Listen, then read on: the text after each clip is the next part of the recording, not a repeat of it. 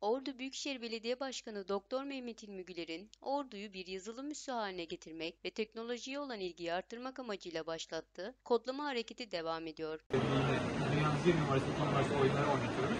Onun neden indirildiğini anlamaya çalışıyorlar. Büyükşehir Belediyesi iştiraki Oryaz AŞ aracılığı ile bu zamana kadar pek çok gencin kodlama eğitimi aldığı Ordu'da bu defa da oyun kodlama kampı ile bilişime ilgi duyanlar bir araya getiriliyor.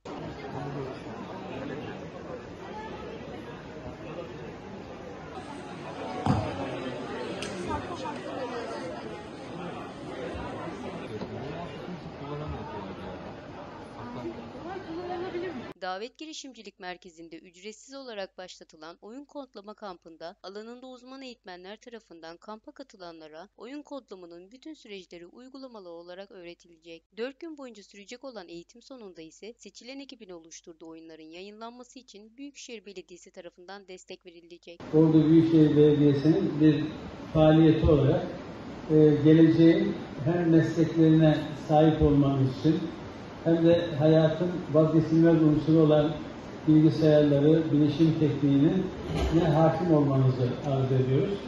Ve gördüğüm kadarıyla da e, biraz önceki eğitmen arkadaşlarımızdan, danışman arkadaşlarımızdan öğrendiğim kadarıyla aslında siz e, epey birikimli olarak e, buraya geldiniz. Yani sıfırdan başlamıyorsunuz. Sizi önce kutluyorum.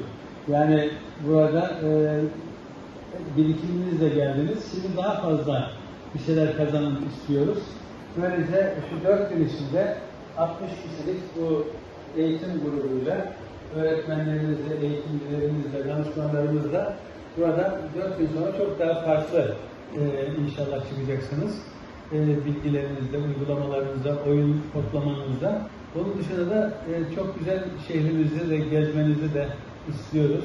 Buradaki güzellikleri görün. E, sörfüyle, deniziyle, Boztepe'siyle, yeşil e, e, ortamıyla, doğasıyla e, ve ordunun misafirperverliğiyle de e, tanışmış olursunuz. Biz de buradan güzel izlenimle ayrıldığınızda mutlu oluruz.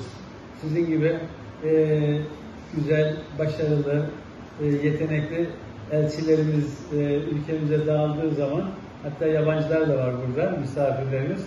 Onlar da ülkelerine gittiği zaman e, ordumuzu ülkemize tanıtmış olurlar. Hem burada güzel bir meslek öğrenilmiş olur, hem de e, dostlukları geliştirmiş oluruz. Bu bakımdan size başarılar diliyorum ve e, geleceğin e, kuvvetli yeteneklerini, değerli yeteneklerini orduda ağırlamaktan mutlu olduğumuzu bildiriyorum.